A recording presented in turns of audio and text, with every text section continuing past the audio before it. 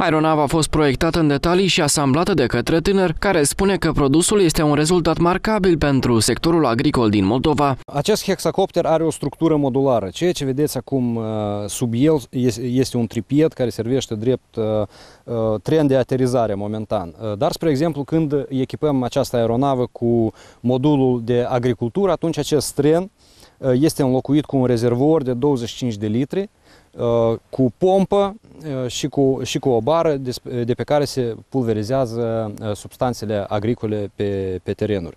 Dintr-o singură trecere peste o plantație, drona are capacitatea să acopere o suprafață de circa 5 metri lățime și stropi până la 2 hectare de culturi. Totuși, Anton vede o problemă în acest aparat și anume gradul de pregătire al agricultorului care vrea să folosească aeronava pe plantațiile sale. Pentru operarea sau gestionarea cu asemenea aeronave fără pilot, dar per general cu aeronave fără pilot, totuși este necesară o pregătire specială. Și uh, chiar orice agricultor, orice om care nu este din uh, domeniul operării cu aeronave fără pilot, uh, bănuiesc că nu ar fi capabil instant să, să devină peste noapte pilot de, de drone. Deci totuși ar fi nevoie de un personal calificat cu studii speciale în domeniul aplicării aeronave fără pilot, în speța pulverizării substanțelor chimice.